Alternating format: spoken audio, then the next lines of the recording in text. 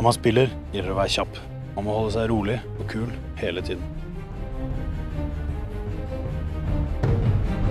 Det er ikke noe tid til å nøle. Man skal konstant være på for å kunne henge med.